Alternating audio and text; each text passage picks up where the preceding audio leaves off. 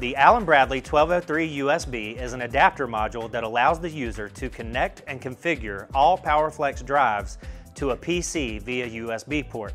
In this video, we'll demonstrate this process using CCW and a PowerFlex 755 TS.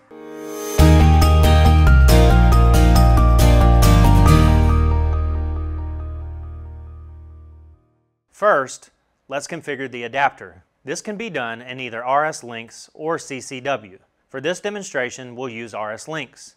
Instructions for CCW will be provided in the description below. If you haven't already, download the 1203 USB adapter drivers from Rockwell's PC-DC site. With the adapter plugged into the drive and your computer, we'll identify the COM port it's associated with using the computer's device manager.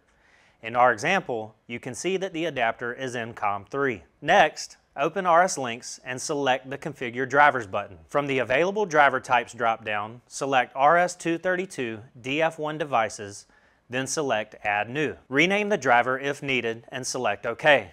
Select the COM port, then scan port in the device drop-down, and change your baud rate to 115,200. Then select OK. Now we can see the drive pop up in RSLinx. From the Start page in CCW, click Discover. In the Collection browser, click the plus sign next to 1203 USB to display the PC and the drive. Then select the DPI port since this is a 750 series drive. If you're using the 520 series, it would be the DSI option. Select OK, and as you can see, we are connecting to the device. The green status bar will indicate we are connected to the drive. We can now view and make parameter changes.